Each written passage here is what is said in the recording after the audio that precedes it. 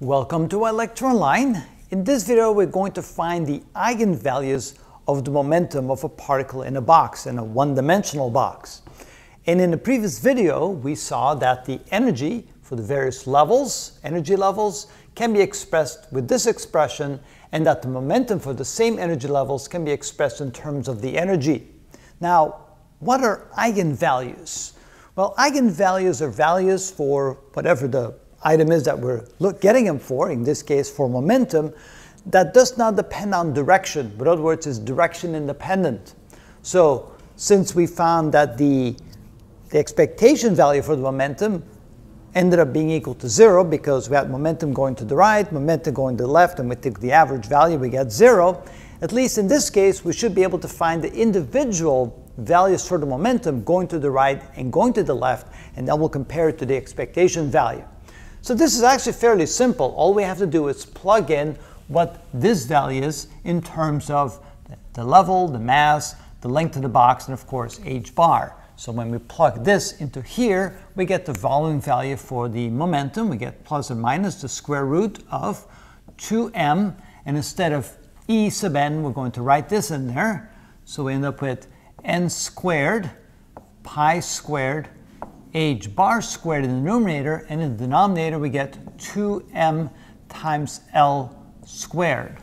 Now right away we realize that both the 2's and the m's can cancel out, so the 2's are gone, the m's are gone, and everything else underneath the square root sign is squared, so we can simply take it out of the square root sign, so we can say that momentum for all the energy levels n is going to be equal to plus or minus, then we get, let's see here, n pi h bar over L. And so here we have the two possible values for the momentum. We have the plus value for, let's say, motion to the right, and the negative value for motion to the left. And this is then the actual value of the momentum in either direction. So then what we can say is that P sub n in the plus direction is equal to n pi h bar over L, and P sub n in the negative direction is equal to uh, that would be a negative n pi h bar over L. And so these could then be considered to be the eigenvalues of the momentum or the momentum eigenvalues. Now let's take the average value of those two eigenvalues. So the average, so we could say that the momentum average is going to be the sum of the two. So it's going to be p sub n plus plus p sub n minus divided by 2. So now all we have to do is add the two together and see what we get. So this is equal to n pi h bar over L uh, plus the negative n pi h bar over L, the whole thing divided by 2.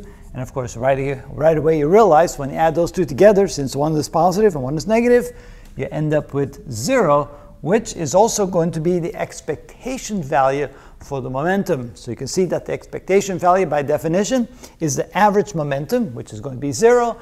And here are the momentum eigenvalues, which gives you the magnitude of the momentum, one going to the right, one going to the left, when it's independent of direction. And so that way you can see both of them.